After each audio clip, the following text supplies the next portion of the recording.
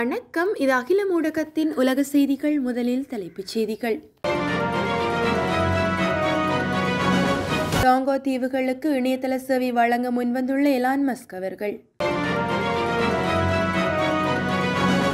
பெய்ஜிங்கில் அதிகரிக்கும் கொரோனா பாதிப்பு.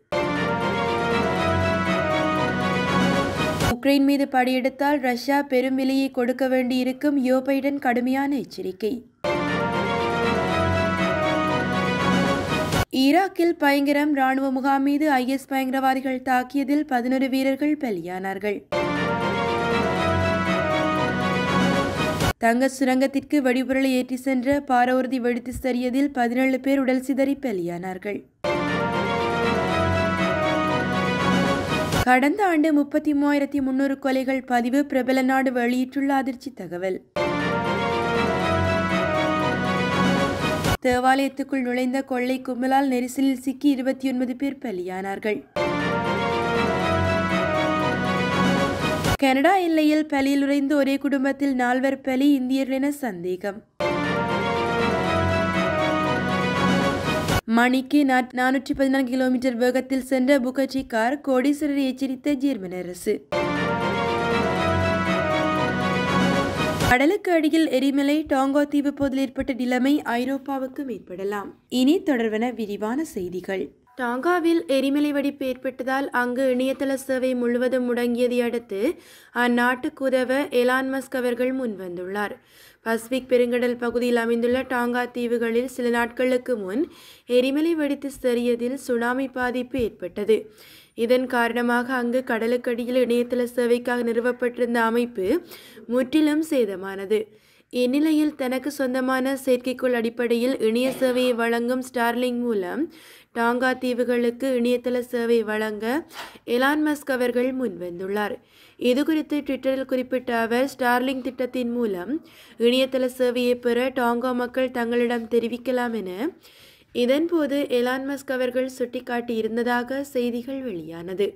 சீன தலைநகர் பெய்ஜிங்கில் குளிர்கால ஒலிம்பிக் போட்டி நடைபெற இன்னும் இரண்டு வாரங்கள் எஞ்சியுள்ள நிலையில் அங்கு கொரோனா பாதிப்பு அதிகரித்து வருகிறது. பெய்ஜிங்கில் அடுத்த மாதம் நான்காம் தேதி ஒலிம்பிக் போட்டிகள் தொடங்க உள்ளதுடன் இதற்காக சீன அரசு கடும் கட்டுப்பாடுகளை அமல்படுத்தியுள்ள நிலையிலும் பெய்ஜிங்கில் புதிதாக பனிரெண்டு பேருக்கு கொரோனா பாதிப்பு உறுதியானது. ஜனவரி பதினைந்தாம் தேதி முதல் பெய்ஜிங்கில் பதினெட்டு பேருக்கு தொற்று பாதிப்புகள் உறுதியாகியுள்ளதாக நோய் தடுப்பு மற்றும் கட்டுப்பாட்டு மையத்தின் துணைத் தலைவரான பாங்கிங்கோவா அவர்கள் செய்தி வெளியிட்டு உள்ளதாக தகவல்கள் வெளியானது. ரஷ்யா உக்ரைன் இடையிலான மோதல் கடந்த சில மாதங்களாக வலுத்து வருகின்றதுடன் சுமார் ஒரு லட்சம் படை வீரர்களை உக்ரைன் எல்லையில் ரஷ்யா நிறுத்தியுள்ளது. இதன் காரணமாக இரு நாடுகளுக்கிடையே போர் சூழல் உருவாகியுள்ளதுடன் இந்த விவகாரத்தில் அமெரிக்கா மற்றும் மேற்கத்திய நாடுகள் உக்ரைனுக்கு ஆதரவாக உள்ளது. குறிப்பாக அமெரிக்கா இந்த விவகாரத்தில் ரஷ்யாவுக்கு எதிராக பல்வேறு நடவடிக்கைகளை எடுத்து வருகிறது. இந்நிலையில் உக்ரைனை ஆக்கிரமித்தால் ரஷ்யா பெரும் விலை கொடுக்க வேண்டியிருக்கும் என அமெரிக்க ஜனாதிபதி ஜோ பைடன் பகிரங்க எச்சரிக்கை விடுத்தார்.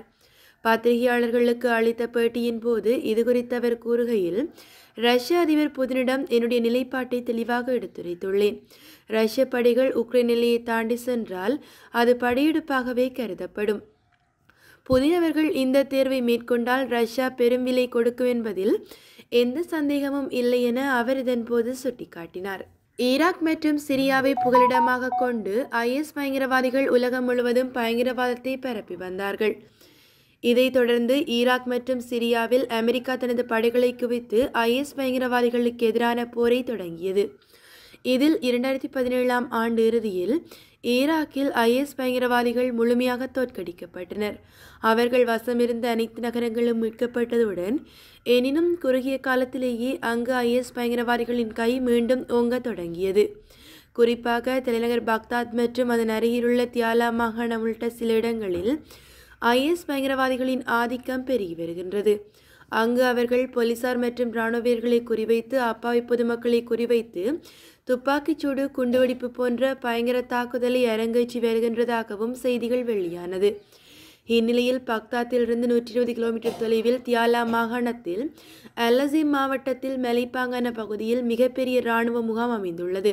நேற்று அதிகாலை இந்த இராணுவ முகாமை சுற்றி வளைத்த பயங்கரவாதிகள் முகாமுக்குள் அதிரடியாக நுழைந்து கண்மூடித்தனமான தாக்குதலை நடத்தினார்கள். பயங்கரவாதிகள் துப்பாக்கியால் சுட்டதில் பதினொரு வீரர்கள் சம்பவ இடத்திலேயே பலியாகி உள்ளதாக செய்திகள் வெளியானது. கானா நாட்டின் மேற்கு பகுதியில் அமைந்துள்ள தங்கச் சுரங்கத்திற்கு சுரங்க வேலைகளுக்காக வெடிபொருட்களை ஏற்றிக்கொண்டு சென்ற பார்வதி மீது மோட்டார் சைக்கிள் மோதியதில் பாரிய வெடிவிபத்து ஏற்பட்டது. இதில் பதினேழு பேர் சம்பவ இடத்தில் உயிரிழந்து உள்ளதுடன் ஐம்பத்தி ஒன்பது பேர் படுகாயமடைந்து உள்ளார்கள். இந்த விபத்தில் பார்வதியில் தீப்பற்றியதுடன் இதனால் வெடிமருந்து பயங்கர சத்தத்துடன் வெடிக்க தொடங்கியது.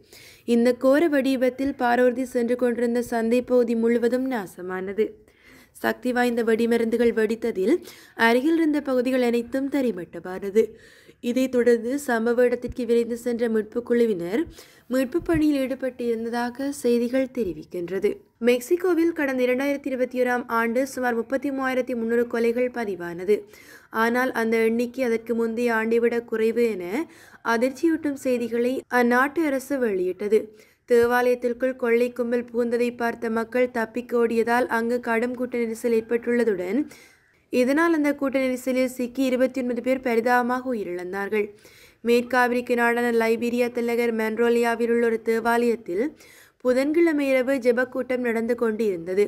இதில் ஏராளமானோர் கலந்து கொண்டிருந்ததுடன் அப்போது ஆயுதங்களுடன் ஒரு கும்பல் ஒன்று கொள்ளையடிப்பதற்காக தேவாலயத்துக்குள் நுழைந்தார்கள். இதன்போது தேவாலயத்திலிருந்த மக்கள் தப்பிக்கோடி உள்ளதாகவும் செய்திகள் வெளியானமை தெரிவிக்கத்தக்கது. அமெரிக்க கனடா எல்லைப் பகுதியில் ஒரே குடும்பத்தை சேர்ந்த ஒரு குழ கைக்குழந்தை உட்பட நான்கு பேர் கடும் பனி காரணமாக உறைந்து பலியானார்கள். கனடா எல்லைக்குள் உறைந்த நிலையில் பலியாக இருக்கும் ஒரே குடும்பத்தை சேர்ந்த நால்வரும் இந்தியர்கள் என நம்பப்படுகிறது.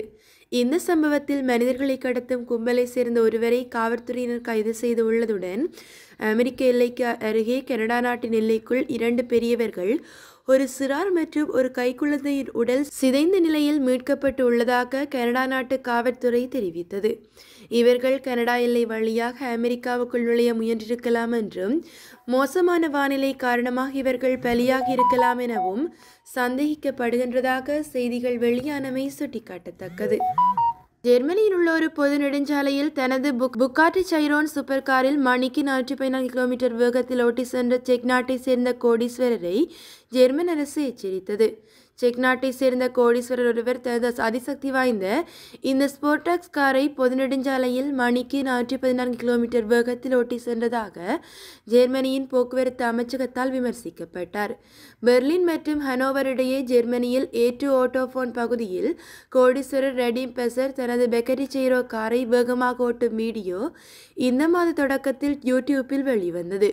இந்த ஸ்டாண்ட் கடந்த ஆண்டு பத்து கிலோமீட்டர் நீராக அமைந்துள்ள முழுநிலத்தில் தெரியக்கூடிய ஒரு மூன்று வழி நெடுஞ்சாலையில் படமாக்கப்பட்டதாகவும் பசர் அவர்கள் கூறினார். இந்த வீடியோவில் கார் நெடுஞ்சாலையில் பல வாகனங்களை கடந்து செல்வதை காணலாம்.